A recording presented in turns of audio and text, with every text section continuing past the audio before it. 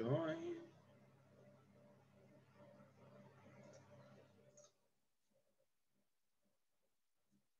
Joining, joining, joining. Cool. All right. Can everyone hear me?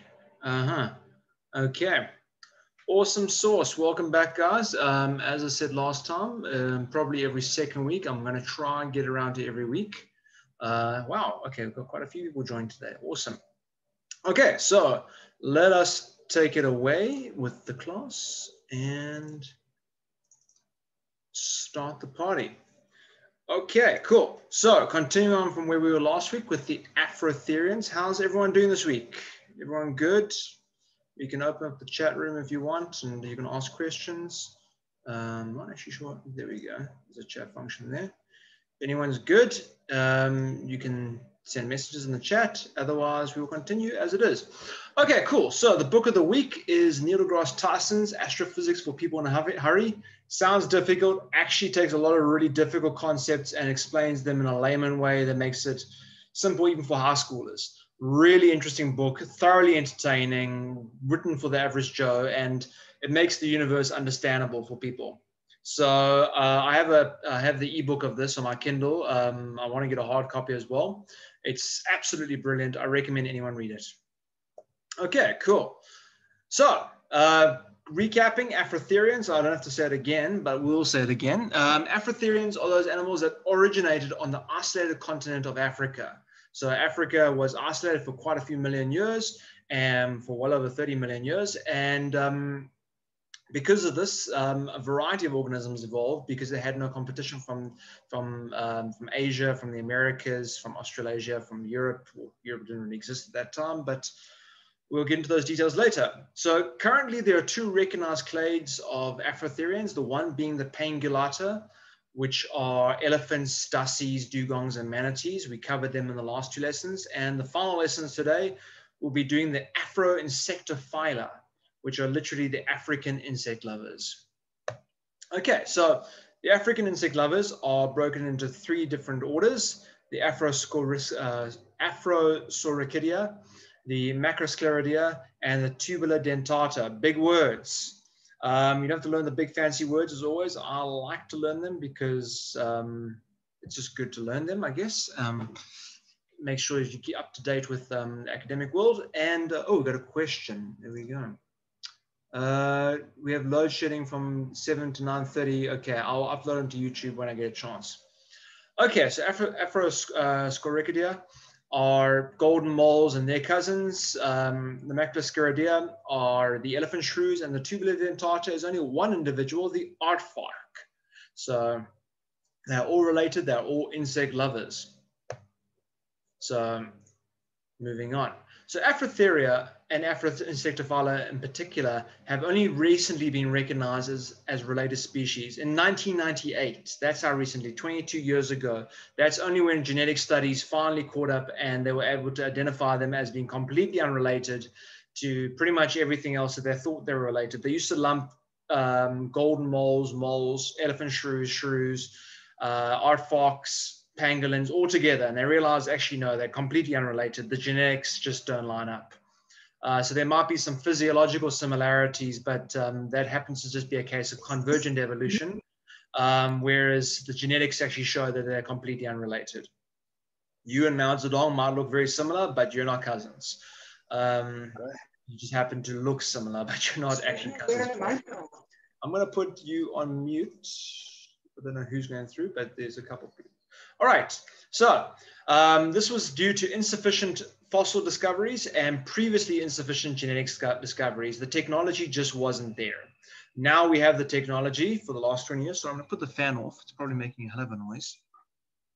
And um, it's, we now have the, the correct equipment or updated equipment that gives us accurate genetic studies. And um, there's very limited um, fossils and physiological um, similarities between these species, but the genetics don't lie. They show that they are related. And um, this has been the final nail in the coffin for a lot of the old science that was thrown out the window, and they've reclassified things in the last 20 odd years. So stuff that you might have learned in school, even stuff that uh, when I was studying previously, so I was learning stuff that was written in the 80s and 90s, and it seemed up to date, but actually it's been scrapped. So maybe older generations have never heard of Afrotheria, um, but these guys are all related. So Afrotherians have some similarities. They have higher than average vertebral counts compared to Laurasiatherians and primates and those guys. Uh, the, the placenta forms in a very similar way, quite different to how a lot of other mammals form, placental mammals. They all have similar ankle structure, which actually links them up with the Xenotherians from South America. And um, they have late permanent dentition. So they only get their permanent dentition much later in life. Uh, a lot of animals get them very young, six months, a year at most. Primates tend to get them a little bit later too, but the Afrotherians get much later in life, often only when they're adults. And many species, coincidentally, have elongated mobile snouts used to find or manipulate food, just like an elephant, just like an elephant shrew, just like an aardvark. So um, this goes back again to the, the, the Eocene 50 odd million years ago when Africa was isolated from the rest of the world.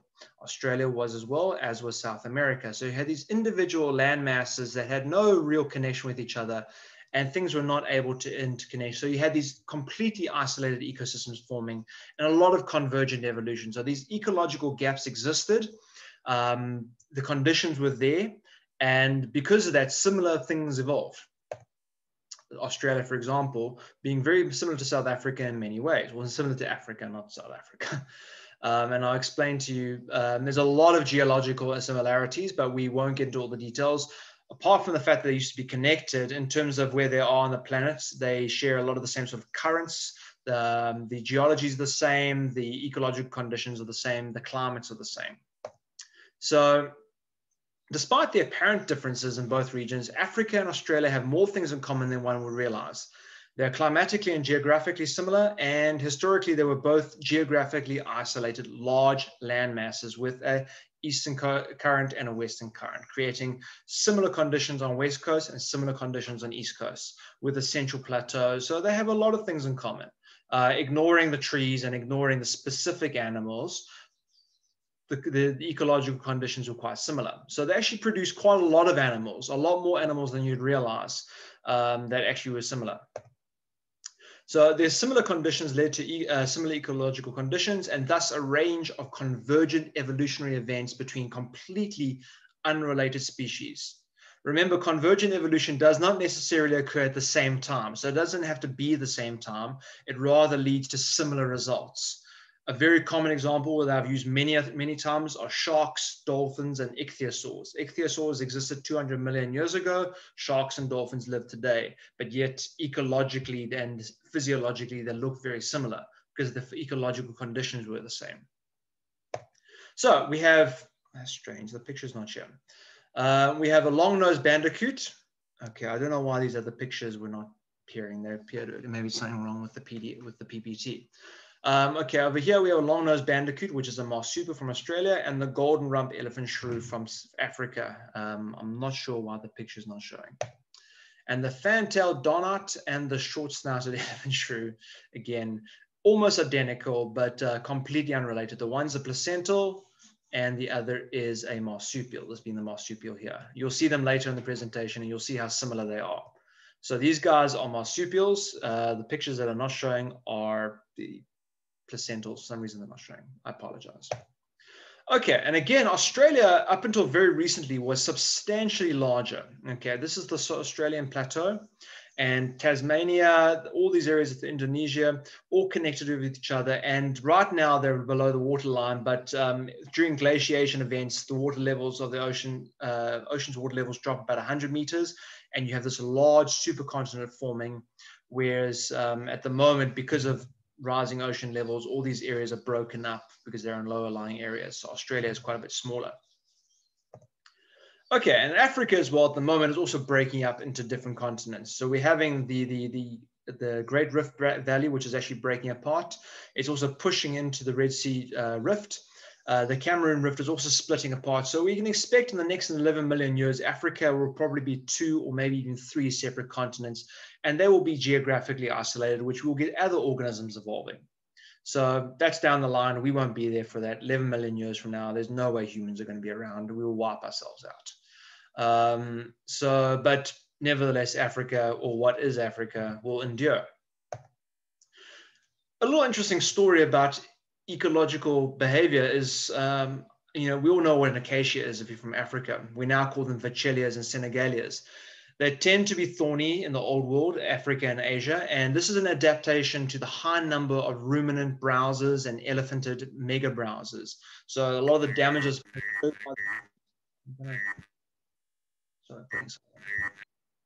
Okay.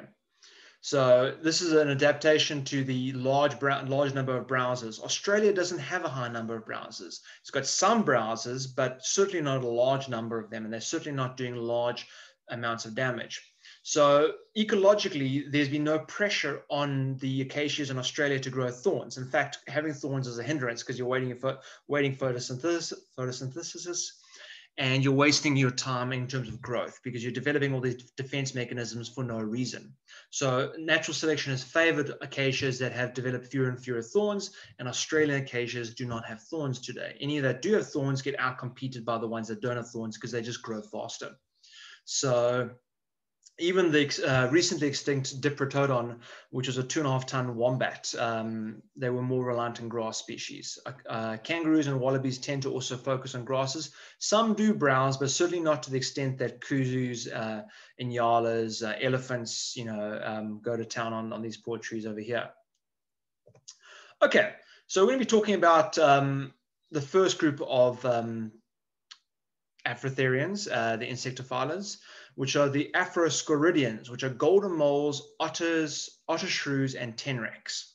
And all species are found only in sub-Saharan Africa, okay, and in Madagascar. So there are three families, all geographically isolated. The golden moles, which are limited to Southern Africa, otter shrews, which are limited to Central Africa, and the tenrecs, only found in Madagascar. So these are the three groups here. These are the uh, otter shrews found in this area over here, golden moles found here, and tenrecs found over here. And they all look very, very different. So the first are the golden moles. No way related to true moles, which come from North America and Europe and Asia. Uh, they just happen to be very similar. In fact, in many ways, they look more similar to the Australian marsupial moles, which I showed in the very first lectures about mammals um, and again, ecologically very similar and have adapted to a desert-like environment, a lot of the species, just like the Australian marsupial moles, which have also adapted to desert-like environments, whereas gold, uh, the true moles from Europe tend to be more temperate in their own habitat.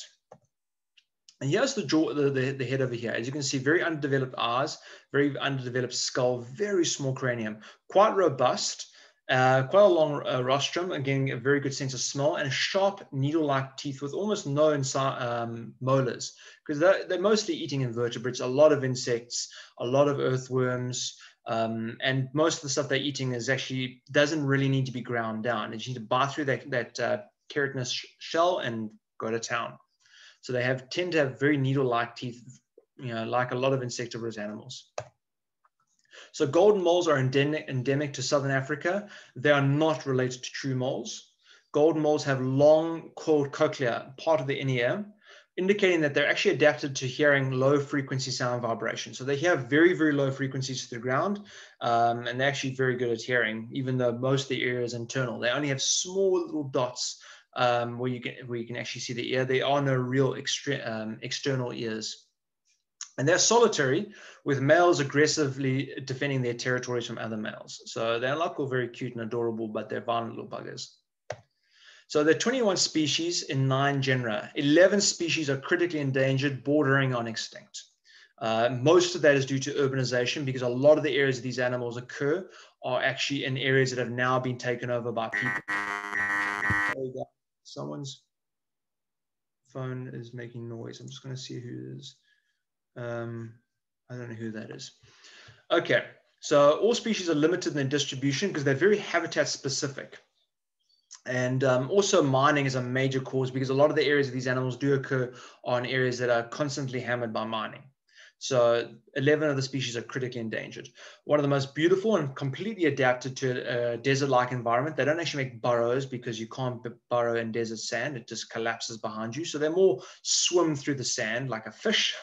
Is Grant's golden mole. Beautiful little guy over here. As you can see, absolutely no eyes. The eyes are completely vestigial and below the skin.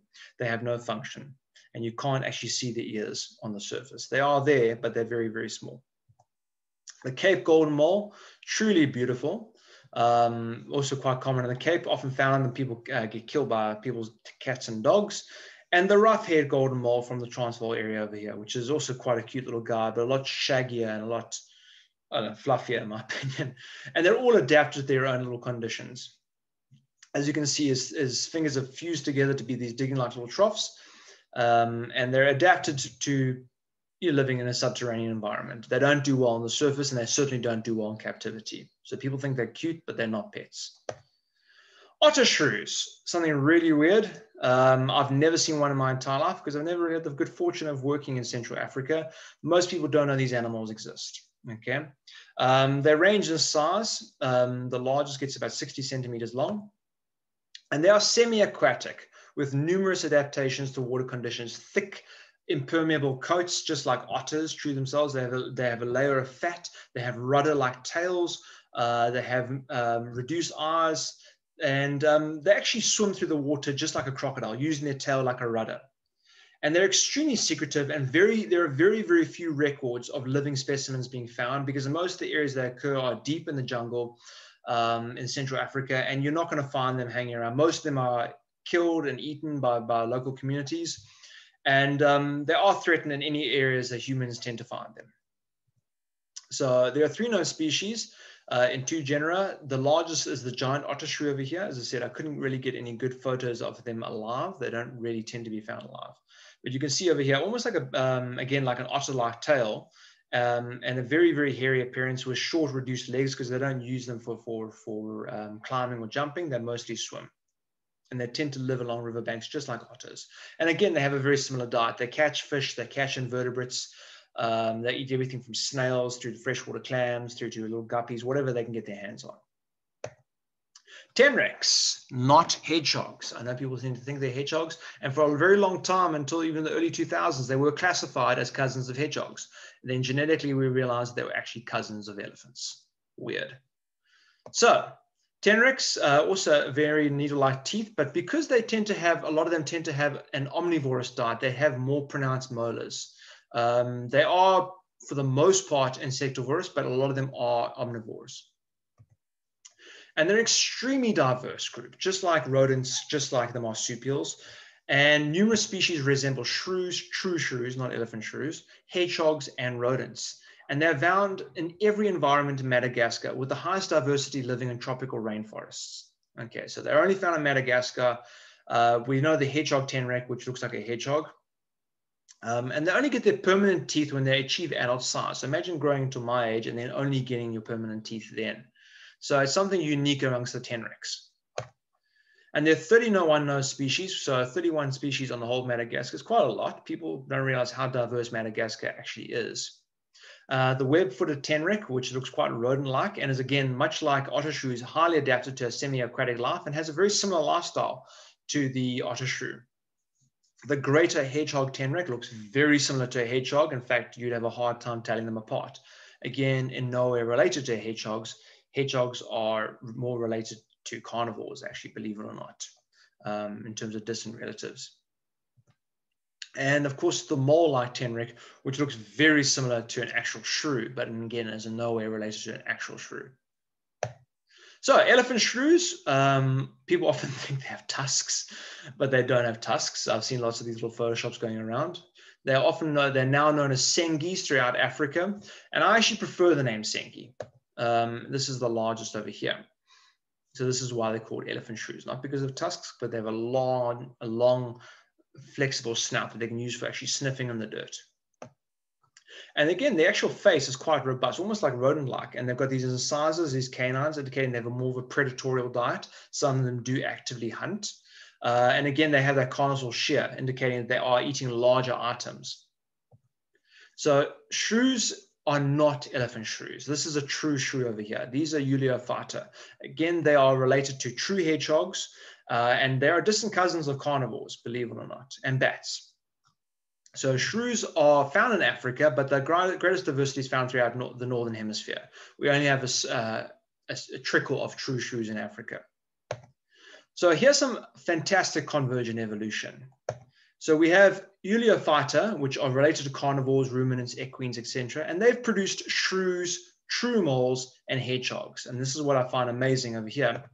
Then you have the Afroinsectophila, which are related to elephants, hyraxes, and dugongs, and they produce the elephant shrews, otherwise sengis, golden moles, and tenroks, tenrecs, which look like hedgehogs. And that is absolutely amazing that you're literally producing similar looking orders in completely relate, unrelated mammals. Um, Eulipotyphla evolved in the northern hemisphere. We do get them now in the southern hemisphere, but they evolved in the northern hemisphere and they produce shrews, true moles and hedgehogs, Afroinsectophila, and produced shrews, elephant shrews, golden moles, and tenrecs. Incredible, absolutely incredible. It's not even just one organism, it's like whole orders being recreated. And that's the thing, that's the powerful force of convergent evolution. Nature is extremely lazy. And if it finds a design, it's not going to you know, it just tends to go back to the same sort of design over and over and over because it's the most efficient thing. And any, any sort of deviation from that tends to get weeded out. And given enough millions of years, you'll tend to produce similar looking organisms. Given enough, uh, even if you go back 50 million years ago, we talked about with whales, and Pakicetus was a mammal that looked very crocodilian in appearance because for its environment, a predatory freshwater mammal being crocodilian in appearance was the most effective form of living uh, most, was the most effective form for a, for a mammal to take. And um, again, we see this starting to pop up in, in some of the, even the freshwater dolphins that are popping up today. Anyway, I'm deviating. Okay, so Sengis are elephant shrews, and I prefer the name Sengi because it actually doesn't confuse people with shrews. It, it's an unrelated organism; it's its own thing, and actually, it was um, Jonathan Kingdon in 1997, I think he said that um, we should rather start calling them elephant, uh, calling elephant shrews sengis instead because of the confusion. And also, it's an African word, and we should just be using it because they are completely and only found in Africa. So we should use the word sengi. So I'm going to use the word sengi going forward.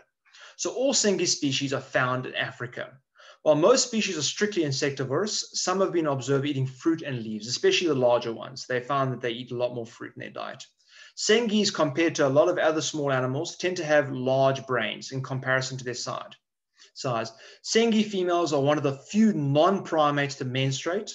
Um, fruit bats being the only other mammal that menstruates as far as that I know of. Um, and obviously primates do as well. Humans, uh, orangutans, bonobos, chimpanzees, gorillas, all do. Okay, and unlike true shrews, sengis are long-legged and forage over land rather than hiding below litter and vegetation. So true shrews tend to stick below leaf litter, forage in there, never really expose themselves to the light. A lot of the larger sengis are quite comfortable coming out in the open and foraging through an open, open land and bouncing around and doing their thing. Compared to true shrews, they also have rather good eyesight and an exceptional sense of smell. They have slightly lower metabolisms. Some of the shrew species can starve to death in a few hours. Sengis can go a few days without dying, most of the species. And here's a difference. They're typically monogamous, but some of them live in small communities. They'll live in their monogamous pairs within communities, but they tend to all be monogamous. So Sengis are known from 20 species around the world. Um, the gold, again, I apologize for my pictures. I'm not sure why they're not saving. The golden rumsembi, which is the one I showed you initially, this guy over here. Uh, there we go. Okay obviously a compatibility issue. The Cape Sengi over here, found throughout the Cape, really adorable little fellow. And the four-turned king Sengi, um, which is found in Central Africa, really cute little guy. Looks a bit like a bandicoot actually from Australia. Again, some convergent evolution. Similar behavior to a bandicoot as well. So the last group we're going to be talking about today are Tubulidentata. It only has one animal, and I think we all know it and we all love it. The aardvark. There's only one species in this order, the aardvark. Aardvarks are unique as in that their teeth lack enamel. All mammals have enamel. And they con- these teeth continue to grow throughout their lives and are tubular in structure. So they have they're made up of dentine, which is what the inside of the tooth is actually made up of. and they continue to grow through their life, much like a conveyor belt, very similar to rodents, except that rodents are capped with enamel and the enamel is constantly growing. So aardvarks lose their milk teeth before they are born. So they're born with their adult teeth. Um, I want to find this picture. Weird. Okay, I apologize. So the pictures are not loading. Uh, there's a very nice picture over here. I'll see if I can upload it on the YouTube video of uh, the dentine structure of an, of an aardvark. Again, it's not uploading. So aardvarks feed, uh, feed mainly on ants and termites, myrmecophagy. That's the big fancy word. Um, ants and termites are not actually related. Everyone seems to think they're related. Even they use the word white ant, which drives me crazy. Termites are not white ants, they're termites. Ants are related to bees and wasps, Hymenoptera, and termites are actually descendants of cockroaches of the order Blattodea, suborder Isoptera. Isoptera used to be its own order, but they've now lumped it under the order of Blattodea, which are cockroaches. So next time someone says, um, "Oh, it's a white ant," actually say, "Sorry, it's just it's basically a communal cockroach." Fun fact. Uh, a single aardvark can actually consume up to 50,000 termites in one night uh, and can dig a meter long burrow in five minutes. That is weaponized impressiveness. That's incredible. Uh, they are little walking tanks, incredible animals. So, contrary to popular opinions, carnivores, sorry, uh, aardvarks are actually omnivores and consume aardvark cucumbers. Again, there's supposed to be a picture here. A compatibility issue, obviously, with my PPT player. And um, I'll try to get a picture for you guys later next lesson. So you get these aardvark cucumbers, which are these cucumbers that grow below the ground. Aardvarks dig them up, crush them up, uh, defecate out the seeds, and the seeds actually grow in the in the the aardvark's feces. So they're completely reliant on aardvarks. It's a form of cucumber. It's also known as an aardvark pumpkin, but it is a form of cucumber that grows in a subterranean condition. So aardvarks are extremely important. They're not just cute. Uh, they're important control agents of ants and termites, and they are ecosystem engineers. I'm sure any of you that have done guarding training will know this term. And they create burrows in extremely hard ground, facilitating the survival of other species. In this reserve, we definitely have no aardvarks. I've seen no evidence of them, um, which would probably um, be one of the reasons why we have so few um, few warthogs in Thula Thula, because um, in this sort of terrain, it's extremely hard soil, and, and a warthog would have a hard time digging this type of terrain, so he would have a hard time finding a burrow and thus surviving um, because of the absence of aardvarks, um, you know there's just not a high enough abundance of warthogs on this reserve.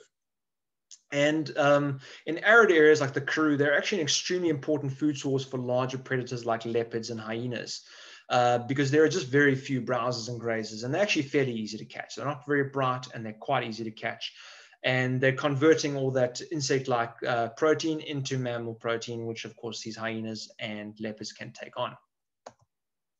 So last little thing we're going to talk about today is the African-Asian interchange. During the Cenozoic era, about 26 million years ago, Africa finally connected with the Asian mainland.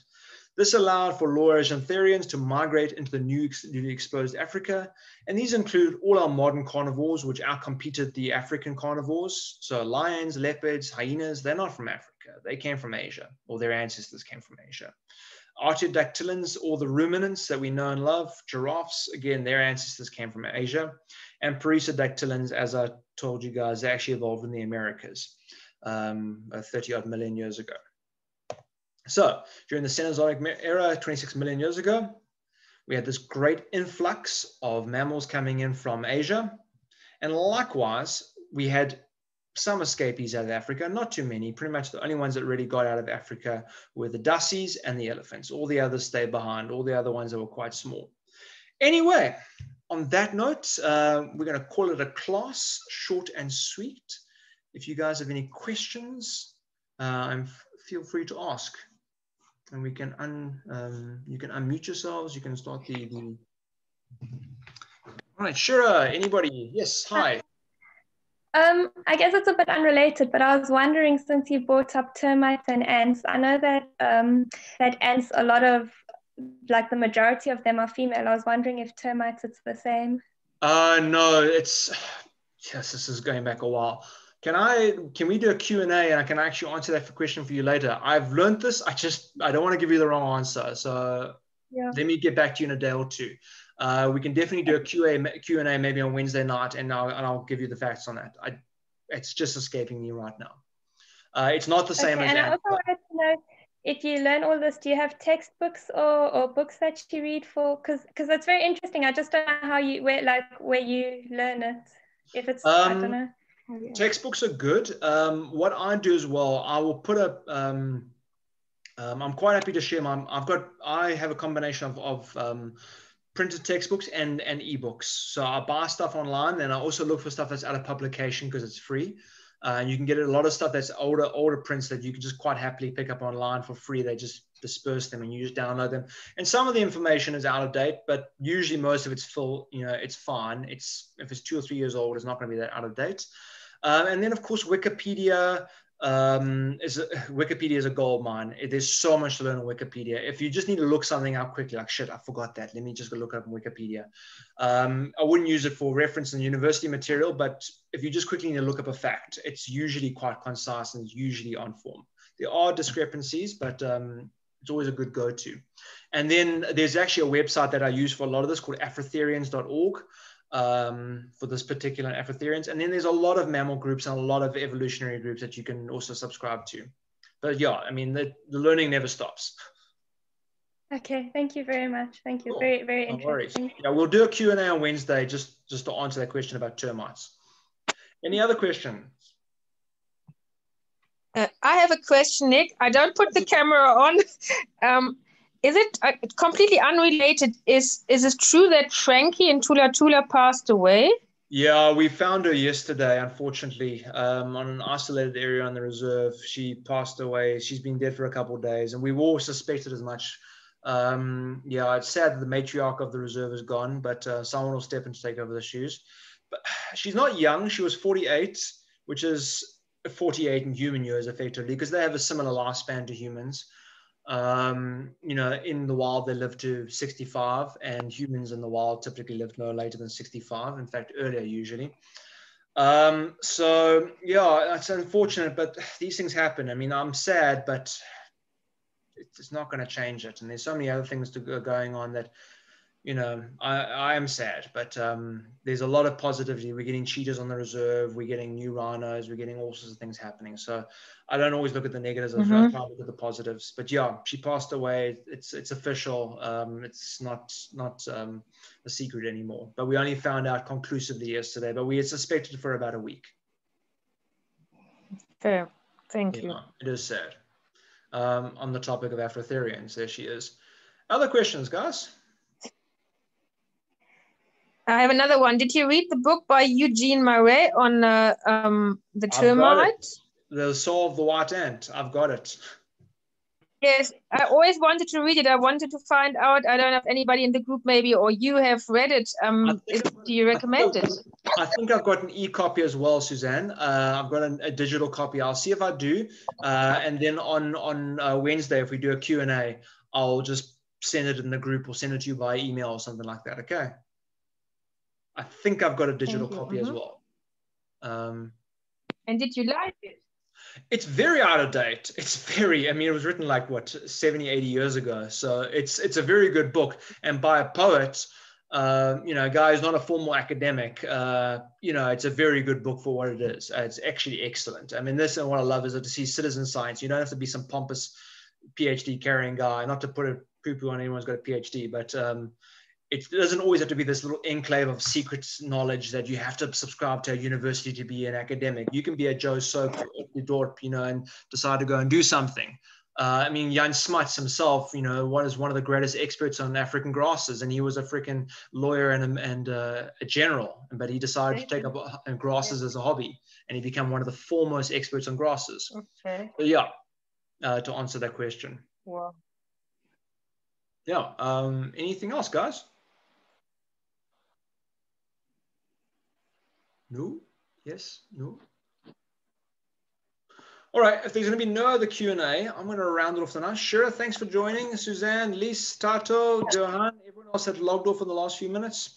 Thanks for having me, guys. Uh, I'll try to get it done every week, a lesson, but let's just say every second week. With my schedule at the moment, I'm just packed pretty busy. I'm loving the fact Mhm. that I've got a new computer, but um, it's amazing. But I think there's some compatibility issues with the the, the um, PDFs that I've made because some of the pictures are just not showing. I don't know why. They're just not. Um, so I'll have to figure that out and uh, before next class and uh, see what what it does from then on. Cool guys. So I want to say auf Wiedersehen, adios, arrivederci, saidian, sayonara, tot ziens. And if you have any questions, if you have any questions for the Q&A, anything about wildlife, let's let's catch up with our Q&A. Um, okay, hi Shira's mom. Um, yeah, so let's just do a nice Q&A and actually have some fun on Wednesday and just ask questions about stuff. It doesn't have to be a mammals, it can be anything. Cool. Okay. Thank guys. you very much. All right, guys. Bye. Enjoy your evening. Cheers. cheers. Bye. You too. Bye. Bye.